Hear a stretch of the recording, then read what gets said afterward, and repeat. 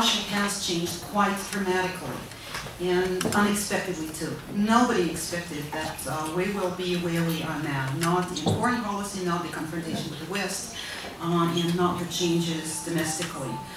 Um, compared to um, what it was like um, up until just a couple of years ago, Russia's become more conservative, more authoritarian, more isolationist, more ideological.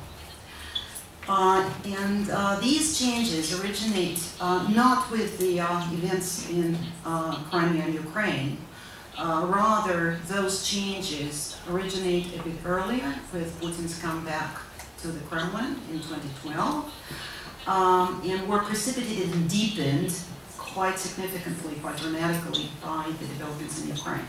Now why um, those changes began with Putin's comeback? I would say three reasons. Um, one is economic. Uh, the way um, uh, Putin's Kremlin built its relations with the society was uh, ensuring broad acquiescence uh, by delivering to people. Or uh, if you are more cynical, uh, you can say buying the acquiescence. And indeed, it was quite a successful project. Thanks to the high and growing price of oil, the government was able to deliver people responded with very broad acquiescence, the modernized and the conservative alike. Um, however, um, while the oil prices still remained fairly high, um, the uh, economic growth began to decline. The economic model of amassing the oil revenues and distributing them was failing Russia. It was no longer working as effectively as it used to. Uh, and Putin knew he would uh, no longer be able to buy acquiescence. The second cause is mass protests that started in 2011. And again, this was before uh, there was any deterioration of the economic standards. And actually, at that point, the oil price stood quite high. Uh, the government continued to deliver. Uh, it delivered opportunity for those who sought to fulfill themselves. So um, it looked like the, the, government was still delivering what, uh, what it used to. But um, beginning in December 2011, uh, we started having mass protests in the streets of Moscow and other uh, big urban centers. Not an economic protest at all, rather a protest against Putin and against the system that looked to people corrupt and unfair. Um, the most common line during those protests was Russia without Putin. And even though it was just 100,000 people in the streets, uh, not too many, I mean 100,000 in Moscow, um, doesn't look like a major challenge to, uh, the, uh, to, to Putin's government. Still, it looked like a challenge to Putin's legitimacy the legitimacy that he had enjoyed for, for a decade. There was a clear decline in the legitimacy. So again, there was 100,000 people in the street maximum, uh, but about a third of the Russian population in public opinion surveys supported the line Russia without Putin. We're talking now late 2011 and 2012. So two causes. The government was um, um, faced the need to improve the reinstate legitimacy and to do something with the economy because it was uh, um, on decline. And the third cause was uh, the events in Libya, that Putin was a last drop, that the West cannot be trusted. Russia abstained in the uh, UN Security Council, thus enabling the West uh, to ensure a no-fly zone. But in Putin's view, the West, uh, first and foremost the United States, abused uh, this uh, concession and uh, we know what happened in Libya. So to Putin and to those around him who had always said the West is the enemy and should be treated thus, this was a last straw. So these three, um, when Putin came back, um, already generated a climate that was uh, quite different from uh, the previous four years of Medvedev's presidency and even the years of Putin's presidency before that. Um, first, um, how do you reinstate legitimacy if you can no longer buy it? Um, but uh, Putin's, uh, um, Putin's mode was to substitute ideology, conservative ideology, uh, for um, economic deliveries. Um, that was the time when Putin started talking about the West not just as a force that uh, always seeks to do damage to Russia, but also as a morally decadent force, condemning the West for abandoning the European values, uh, for uh, its uh, tolerance policy that he referred to as, uh, as barren, um, and for the policy of multiculturalism. So moral condemnation of the West was in the line. Uh, the Kremlin had to um, juxtapose something to the, um, to the protests. If those Russians, and that was the Kremlin line, were bad Russians, unpatriotic Russians, then there was a need to send a message to the nation of what good patriotic Russians stood for. So the ideological pride. Um, also, um, um, since um, the economic decline uh, was inevitable, uh, the government was facing a dilemma. What do you do? Liberalize, unleash people's energies, or something else? Because uh, unleashing uh, people's energies and liberalizing ran totally counter to Putin's strategic priority of control. So he opted for a crackdown, for uh, hard decentralization, for um, harder involvement of the uh, government in the economy. Uh, and the Libya, uh, of course, was, uh, um, was the reason um, of um, increasing confrontation with the West.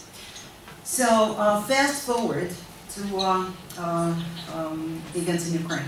By then, I want to em emphasize, we already had a different Russia, a quite a tangible turn in the Russian uh, foreign and domestic policy. And of course the events in Ukraine precipitated and deepened it. Um, what happened was the, uh, uh, the crisis in Ukraine, the totally unexpected uh, um, of President Yanukovych from Ukraine to Putin was uh, a major defeat. Uh, what's more, he was thrown back to square one back 10 years earlier to the Orange Revolution when uh, uh, Kiev had a pro-Western government. So suddenly another pro-Western government, an anti-Russian government in Ukraine, and uh, uh, a vision, a specter of NATO naval base uh, um, being deployed in uh, Crimea and uh, the city of Sevastopol. So Putin had to act fast, and what he did was, I would argue, the most dramatic move in Putin's 15-year tenure, the annexation of Crimea uh, whose consequences he probably expected but uh, accepted the costs, or maybe he did not expect just to what extent this move was unacceptable to the West. So since then we have a major precipitation of all the trends that uh, uh had already taken shape before that. And of course the fact that uh, um, uh, the annexation of Crimea was followed by sanctions, then, of course, the uh, crash of uh, the Malaysian jet, and then the war in Donbass. Things getting worse and worse and worse and worse. Um, what uh, it did to Putin, actually, was fulfill one of his goals, and this is to reinstate legitimacy. Uh, the problem that he was trying to solve but didn't quite solve in 2012 and 2013, he solved with the annexation of Crimea. Uh, the Russian people responded to this with an upsurge of patriotism, of rallying behind the flag, of this over 80%, way over 80% approval rating for Putin, and uh, a uh, very broad national consensus based on basically two pillars. First is uh, rallying around Putin as the commander of a besieged fortress, and B, the loathing of the West. And both enjoy broadest public support in Russia. The loathing of the West has new colors to it because uh, the anti-American sentiments have been around up and up and down for a long time, but the European Union enjoyed much better reception in Russia.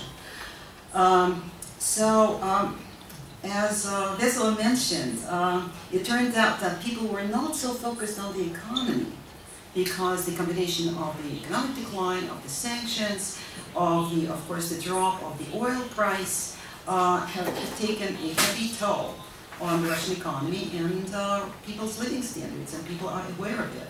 But it turns out that the old um, uh, President Clinton's uh, maxim, it's the economy stupid, does not quite work in Russia, that's why. It turns out that it's not just the economy stupid. Despite the decline of the living standards, the legitimacy is quite high, looks fairly solid, and uh, uh, whatever happens in the future, and things have gotten very unpredictable in Russia, um, at least at this point in time, the legitimacy is reinstated. The economy is not in great shape, to say the least. Um, and I will probably stop here. Thanks. Um, I will ask one more short question. Can you say whether uh, the murder of uh, Boris Nemtsov was some kind of a threshold? Was it a changing moment for the atmosphere in, in Russia? Um, I'm sorry to say um, that it was not. Um, of course, this came as a shock, and arguably, maybe also to President Putin. Um, the assassination of Nemtsov is uh, a political assassination that, up until now, has no explanation. Who and why wanted him dead? Uh, this sounds very cynical, but with previous political assassinations, we knew who might want those people dead. Um, for instance, maybe the most prominent case of the assassination of Anna Politkovskaya, a uh, Russia's prominent human rights advocate and journalist. Um, he was, she was seen as the personal enemy of Ramzan Kadyrov, the uh, inti very intimidating and brutal figure, the leader of Chechnya. He said so many times, he threatened her. Uh, uh, she was uh, subjected to very rough treatment in Chechnya earlier. So, well, it can be suggested, especially given that Ramzan Kadyrov is a kind of leader in whose tenure many of his enemies and adversaries somehow mirac miraculously got murdered in various parts of the world. Moscow, Chechnya, uh, Arab Emirates, Austria.